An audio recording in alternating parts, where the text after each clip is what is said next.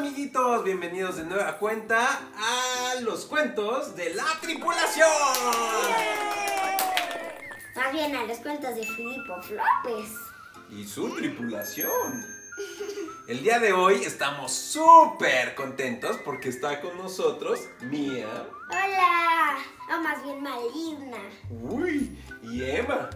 Más bien vampirina. Uy, y Flora Falala.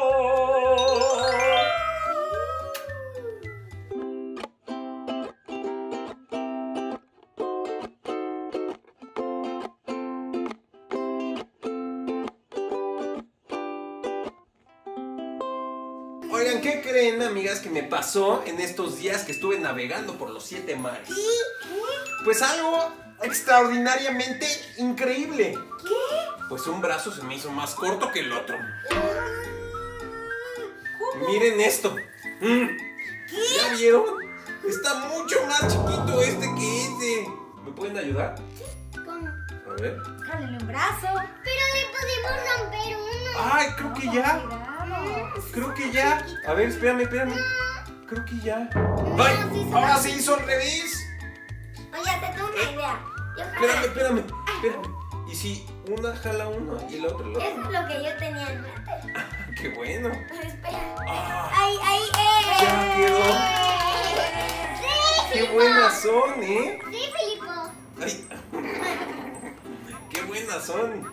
Amiguitos, pues el día de hoy les queremos traer una historia padrísima Padrísima. que nos lleva o nos remonta a la edad de las cavernas, cuando todos éramos unos cavernícolas. Y no teníamos ni ropa. ¡Qué vergüenza! ¡Qué vergüenza! Ni calzones. Pues con ustedes dejamos a Flora Falala platicarnos.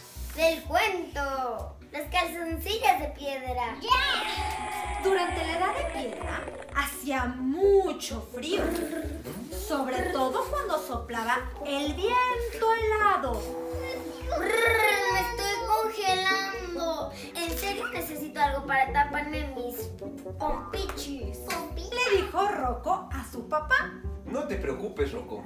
Puedes hacer muchísimas cosas con piedras. Rocco golpeó y cinceló, luego quebró y pulió hasta que Rocco creó sus propios super calzoncillos de piedra.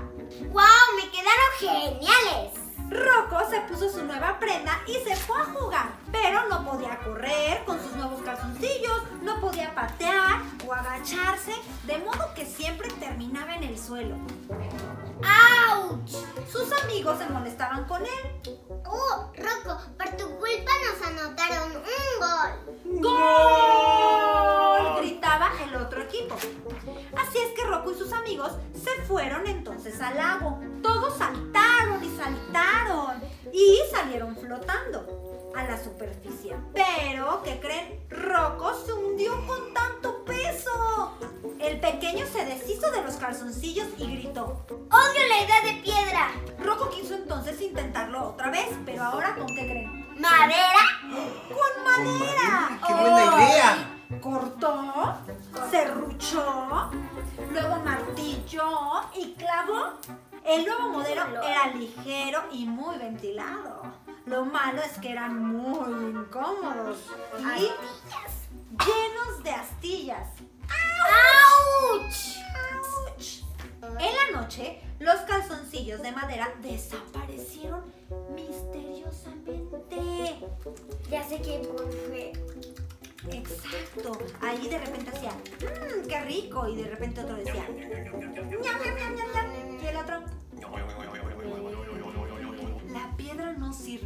Y la madera tampoco. Pero yo todavía tenía frío. En mis pompichis decía, ¿qué podría usar ahora? ¡Conchas! Las caracolas eran muy ruidosas. Las telarañas eran muy pegajosas. El lobo Muy sucio. Sucio. Muy sucio. Las plumas son ligeras y cálidas. Así es que Rocco buscó pájaros y plumas, aunque no todos querían compartirlas. Él juntó suficientes plumas, luego tejió y cortó, trenzó y cosió. Los calzoncillos de plumas eran ligeros y suaves, pero sobre todo, ¿qué creen? ¿Qué, qué se les ocurre?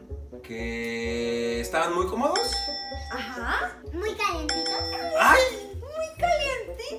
Ahora mientras jugaba podía correr, saltar, patear. Sin embargo, Rocco se sacudió y se retorció. Luego se giró y se contorsionó. Las plumas le hacían tantas cosquillas que perdió de vista la pelota y fue a caer dentro del pantano. Los calzoncillos de plumas causaban demasiadas ¡Cosquillas!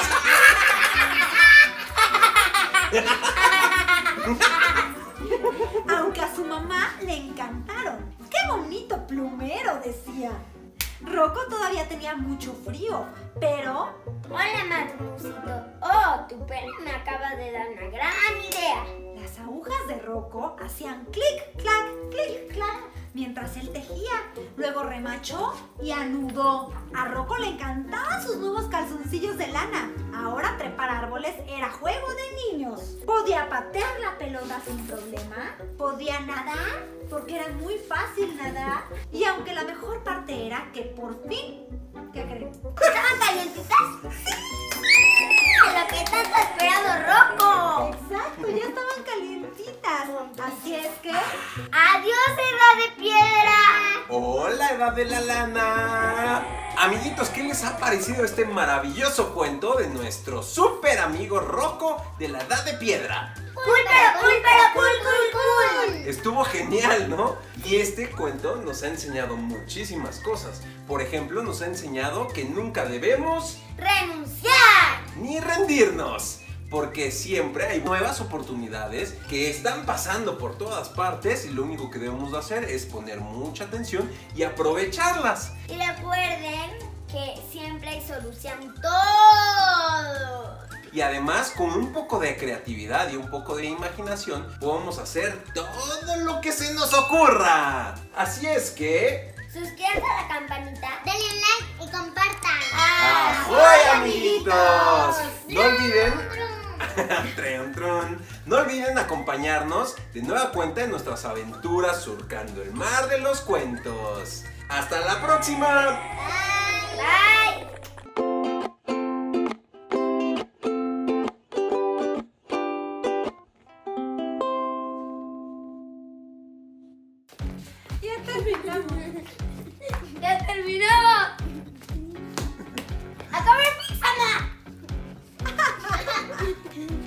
Ha ha ha!